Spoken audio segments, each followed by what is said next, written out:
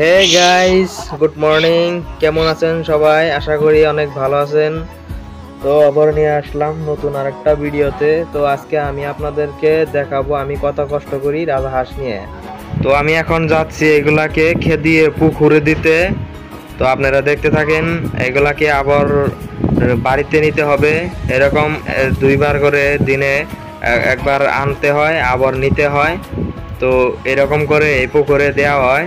তো আপনারা দেখুন লাস্ট পর্যন্ত ভিডিওটা কেমন লাগে অবশ্যই কমেন্ট করে জানাইবেন আর সাবস্ক্রাইব করে পাশে থাকবেন।